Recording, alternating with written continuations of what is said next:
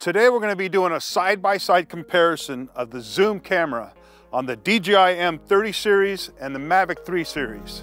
Stay tuned.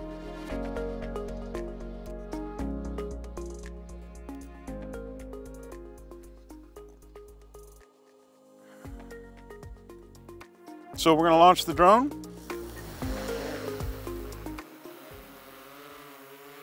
Okay, now we have the drone up in the air facing down to the park. We're gonna start with the wide angle lens and we'll see with that the entire park. We've got a couple of park benches that we got the camera set up on.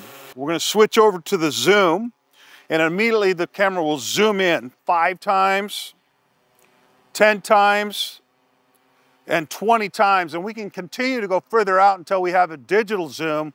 We lose a little clarity, but that's okay. We're not concerned about that. We're not out here filming commercials.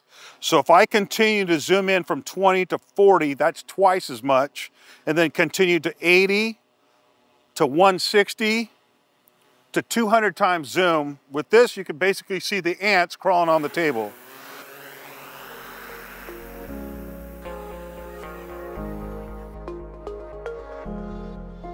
Okay, so we have the Mavic 3 up in the air now, 100 feet high.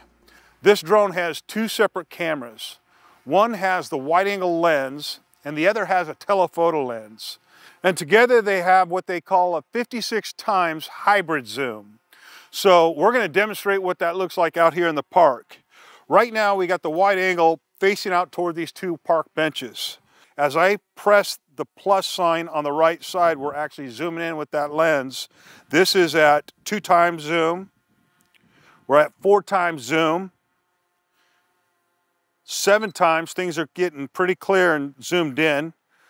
We're at 14 times zoom, 28 times zoom, and we can just keep going to 56 times zoom. And that's what it looks like. So that shows you the comparison of the zoom cameras on these two drones. Let us know in the comments what you think. This is Derrick Ward with DSLRPros. Thanks for tuning in and fly safe.